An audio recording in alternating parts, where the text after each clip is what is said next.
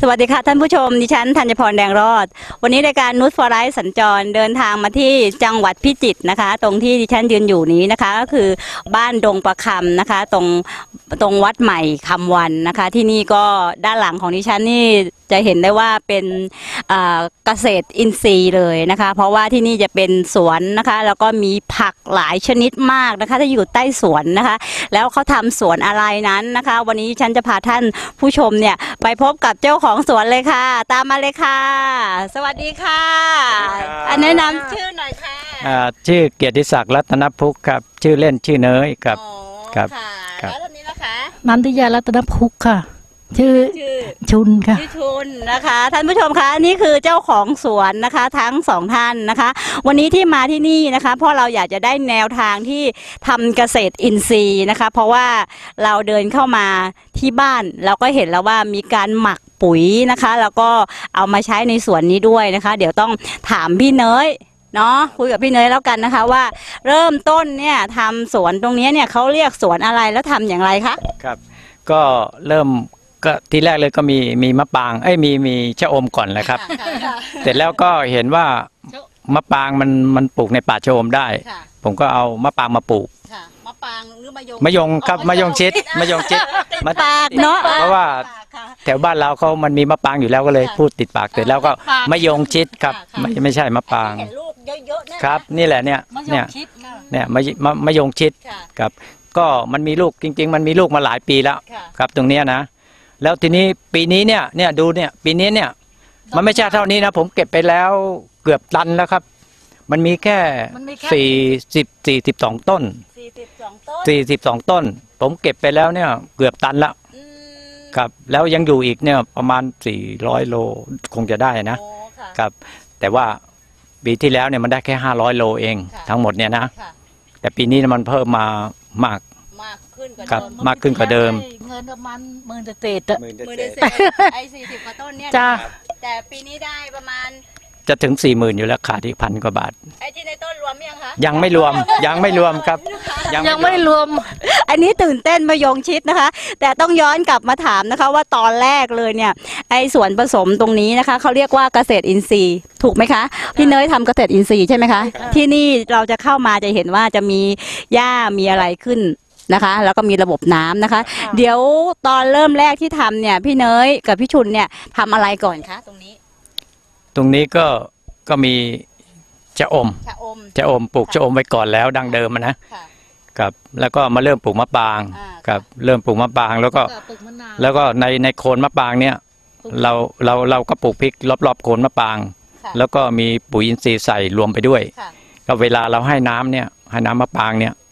ไอไอพริกของเราก็ได้ได้ได้ผลไปด้วยโดยไม่ต้องลงทุนอะไรเลย อ๋อ ได้ผลจากจากเพระมะปรางเรก็ปรางอยู่แล้ว เราก็ต้องใช้ปลูกพริกด้วยด้วย อ๋อค่ะผลพลอยได้ค่ะ นะคะก็คือลดต้นมะยงชิดครับครับลดต้นมะยงชิดติดปากเขาปรางครับ ไม่เป็นไรเรามะยงชิดมะยงชิดครับชาวบ้านเขาชอบเรียกเขาปรางครัก็บคือ พริกพริกขี้หนูที่ปลูกข้างล่างนี่เป็นพริกขี้หนูสวนหรือเปล่าคะ เป็นเขาเรียกพริกเกษตรพันธุ์เกษตร ไม่ใช่ขี้เหนียวสวนดั้งเดิมอะอ๋อ เป็นพริกพันธุ์เกษตรพันธุ์เกษตร ครับ เพราะว่าเม็ดมันจะโตกว่าพริกดั้งเดิมหน่อยหนึ่งค่ะ ครับ อ๋อก็เลยเอาเอาพริกเกษตรมาปลูกค่ะ ครับ ก็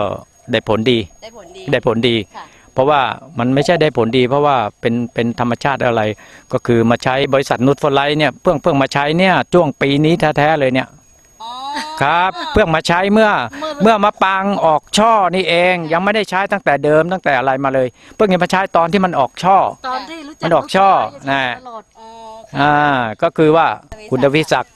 เขาเข้ามาแนะนำค่ะมาแนะนำว่าให้ให้คือเอาจะเอามาฉีดพริกก่อนค่ะทางทางทางทางคุณผู้หญิงเนี่ยอืมเขาจะมาฉีดพริกอ๋อ ทีนี้พอดีก็ ไอที่วางๆกันอยู่ใช่ไหมคะเนี่ยครับนี่ไอแหละเนี่ยนี่นะอะยกมาดูกันหน่อยนี่นะคะใช่อ๋อค่ะ ผมก็เอามาลองเอามาฉีดมะปรางดู ค่ะ โอ้โห พอมาฉีดแล้วมัน เนี่ยมะนาวมันออก มันออกจริง ๆ นะ ผมไม่ได้ ผมไม่ได้มามาพูดมาคุยคือปีที่แล้วนะมันไม่ได้อย่างนี้เลยจริง ๆ เพราะปีนี้เนี่ยผมภูมิใจมากเลย เพราะว่าจริง ๆ แล้วผมผมไม่เคยใช้ เรามั่นใจว่าว่าเรามีเกษตรมีอะไรแล้วเนี่ย มันมันเขาจะมัใช้นของที่ทำเอง เราคิดว่ามันได้ผลดี แต่พอมาเริ่มใช้อันนี้เนี่ยเนี่ยเห็นเห็นเลยโอ้โหเห็นเห็นเลยมะก็นาวคือพูดง่ายๆนะคะ คือสวนตรงนี้นะคะของพี่เนยกับพี่ชุนเนี่ยเป็นสวนเกษตรอินทรีย์นะคะ ซึ่งเราก็มั่นใจในการทำของเราอยู่แล้วนะคะ แต่พอได้เลอะเริ่มมาลองใช้นูตฟอร์ไลท์ผลผลิตมันก็เปลี่ยนไปใช่ไหมคะ ค่ะ เปลี่ยนไปในทางที่ในทางที่ดีมากเลย มาก ไม่ไม่ใช่เฉพาะมะปรางนะครับ ค่ะผลพลอยได้จากมะนาวเนี่ยมะนาวผมเนี่ยมันมันไม่มีลูกมานานแล้วเนี่ย เอาจริงๆ ไม่มีลูกมานานแล้ว มะนาวข้างบ้านแล้วกินมะนาวผมที่ไม่มีลูกไม่ใช่เพิ่งปลูกนะถ่ายได้เลยโน่นสูงเลยกว่ามะปรางอีกแล้วปีนี้เนี่ยมันมีมีเพราะ มันมันมีเพราะว่าผมใช้อันนี้ฉีดมะปรางแล้วบอกคนฉีดว่าให้เขาฉีดมะนาวด้วยให้เขาฉีดมะนาวด้วย คือฉีดไอ้มะปางมะมะยงชิดเราแล้วเนี่ยครับ ให้ไปฉีดมะนาวด้วยให้ฉีดมะนาวด้วย บอกคนฉีดว่าให้ฉีดมะนาวไปด้วย แต่ยายเขานะตอนฉีดครับ จ้างเขาฉีด แล้วคุณทวีศักดิ์เขาก็ไม่รู้นะว่าผมมีมะนาวอยู่ อ่า คุยแต่เรื่องมะปรางกับค่ะไอ้พริก ค่ะ ตอนที่ติดต่อเรื่องตนแรกยาเนี่ย ฉีดพริกนะ ซื้อมาฉีดพริก ทีนี้มันมันมันออกทางมันออกทางมะปรางมันออกทางมะนาวมะนาวนี่ติดลูกเยอะมากเลย โอ้ครับโอ้โหเนี่ย ติดเยอะมาก ค่ะ ตอนแรกนนี้อันนี้คือประทับใจจ้ะ นะคะ คือปลูกมานานไม่มีลูกสักทีหนึ่ง แล้ววิธีใช้ใช้เยอะไหมคะพี่เนย ที่ใช้ที่มาใช้เริ่มแรกครั้งแรกเลยนะห้าตอนทีออกออกออกช่อนะครับ ค่ะ ผมใช้ตัวนี้5ทีซีแล้วก็บวกตัวนี้เข้าไปด้วย ค่ะ ทุกครั้งเลยที่ใช้นะครับ ค่ะ ทีนี้มันก็มันโตมันมันก็เริ่มโตมาแล้ว เริ่มโตลูกเริ่มใหญ่ รูปเริ่มใหญ่เริ่มงามแล้วก็นี้ก็เห็นว่ามันสมบูรณ์ดีแล้วก็มาใช้ ฝาเขียวฝาเขียวครับด้วยฝาเขียวร่วมกับตัวนี้ไม่ไม่ยอมทิ้งตัวนี้ครับ อ๋อต้นไม่ยอมทิ้งตัวนี้ อืมตัวครับที่ใช้มายอมตัวนี้ ค่ะตัวนี้ก็คือเป็นเป็นทำให้ถ้าพูดจะบ้าก็คือกำจัดเชื้อราครับกำจัดเชื้อราครับผมไม่ทิ้งตัวนี้ ค่ะ ก็ใช้ตัวนี้คู่กันเนี่ยไม่ทิ้ง ค่ะ ทีนี้มันออกมาเนี่ยจนกระทั่งรุ่นแรกรุ่นสองรุ่นสามรุ่นนี้ก็คือรุ่นสามนะครับ นี่รุ่นสามรุ่นสามมะมะยงชิดที่เราเห็นเนี่ยครับนะเนี่ยรุ่นสามตัวเนี้ยรุ่นสามนะครับ โอ้ที่รุ่นดกๆเต็มครับ ต้นจ้ะนะคะ ใช้รุ่นสามแล้วรุ่นก็สามมีมีกี่ต้นนะคะอีกทีหนึงมีแค่สี่สิบสองต้นสี่สิบสองต้น ที่ที่มีลูกแล้วนะครับ อืม ที่มีลูกเก็บค่ะ เก็บมีต้นเก็บลูกได้แล้วเนี่ยค่ะมีสี่สิบสองต้นนะครับ อืมค่ะนี่คือความประทับใจนะคะในผลิตภัณฑ์ของเรานะคะ กับสวนมะยงชิดนะคะ ซึ่งได้ผลเนี่ยต้องถามพี่เนยพี่ชุนว่ามันได้มากกว่าที่ไม่ได้ใช้เยอะไหมคะ เยอะค่ะ เยอะค่ะ กว่าครึ่ง เนี่ยค่ะท่านผู้ชมนะคะ ความประทับใจนะคะของพี่เนยกับพี่ชุนนะคะ กับการใช้ผลิตภัณฑ์นูตฟอร์ไลท์นะคะ แต่ต้องบอกท่านผู้ชมก่อนนะคะว่าสวนที่เราเห็นตรงนี้เป็นสวนเกษตรอินทรีย์นะคะ คือปลอดสารพิษแน่นอนนะคะ แล้วก็ปลอดภัยด้วยนะคะ แล้วที่เราเห็นเนี่ยชะอมชะอมใช้อันไหนฉีดคะชะอมก็ชไม่มใช้ใช้ตัวนี้ใช้ตัวนี้ ตัวนี้ใช้สูตรหนึ่งค่ะ สูตรหนึ่งครับจ้ะใช้สูตรหนึ่งนี่ชะอมอะไม่เยก็อะห้าซีซีอะครับห้าซีซีห้าซีซีเองนิดเดียว ห้าทีตีน้ำยี่สิบลิตรน้ำยี่สิบลิตร ครับค่ะ น้ำยี่สิบลิตร แล้วที่เราไปเห็นชะอมมาเมื่อสักครู่นี้นะคะ ยอดเยอะมากอยู่ด้านหลังค่ะ ท่านผู้ชมคะเราจะทดสอบว่าสวนของพี่เนยกับพี่ชุนเนี่ยปลอดสารพิษจริงหรือเปล่านะคะ เจ้าของสวนเนี่ยแอบใช้ยาฆ่าแมลงหรือเปล่านะคะ เดี๋ยวเราจะให้เจ้าของสวนนั่นแหละ ลองทานกันลองชิมกันแล้วเด็ดสดๆได้ไหมคะได้ครับได้ครับลองเลยค่ะมีพยานหลายคนเลยด้านหลังนะคะโอ้โหเด็ดกันใหญ่เลย แต่อยู่ข้างหน้าเราเนี่ย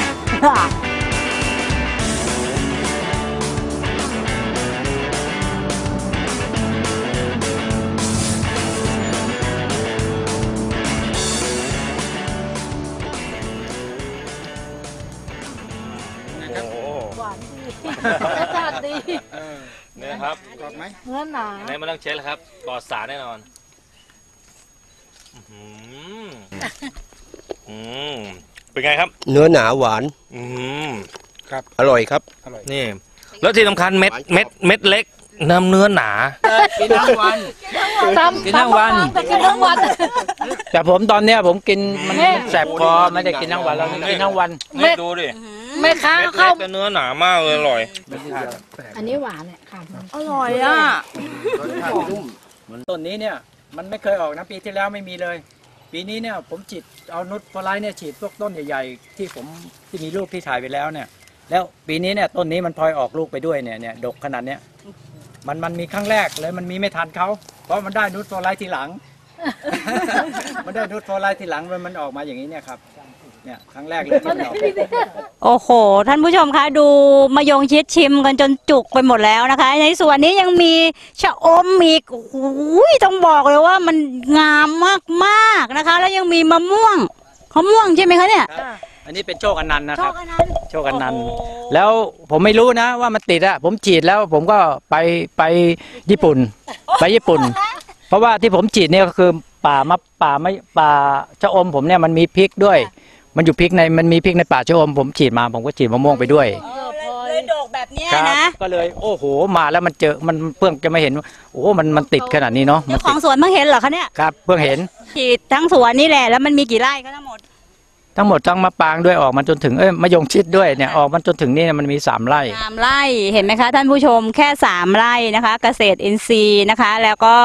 ได้ใช้ผลิตภัณฑ์ นูตฟอร์ไลท์เนี่ยครับเพิ่งจะรู้จักเมื่อตอนมะปรางออกช่อนี่เองอะครับเพิ่งจะใช้เอ่อโอ้โหแต่ว่าประทับใจอะครับอืมประทับใจมากๆมะปรางก็เยอะค่ะ มะม่วงก็ดกเจ้าอมก็ยอดเยอะ ค่ะ แล้วพริกก็เริ่มมีลูกแล้วครับ มีเม็ดแล้วพริกอะครับมะนาวเมื่อกี้ที่ดู โอ้โหมะนาวยิ่งประทับใจอะครับ เพราะไม่เคยเห็นอ๋อไม่เคยมันเกิดแบบนี้มะนาวนะอืมต้นต้นผมปลูกหัวผมปลูกมาท่วมหัวขนาดมันสูงขนาดนี้แล้วเนี่ยมันยังไม่ไม่เคยมีลูกค่ะครับ มันมันเพิ่งจะมามีตอนตอนเนี้ยตั้งแต่ใช้นูตฟอร์ไลท์เนี่ยอ๋อครับ อันนี้จริงๆอะครับ ถ้าถ้าผู้ชมไม่เชื่อนะ โทรศัพท์แล้วถามถามที่ที่ที่บ้านผมเนี่ยที่บ้านที่อยู่เนี่ย ค่ะค่ะตามมาดูได้เลย เอ้าเดี๋ยวโทรศัพท์เดี๋ยวถ้าเกิดมีคนถามเนี่ยมีเบอร์ติดต่อไหมคะมีคอ่ารับเบอร์อะไรคะ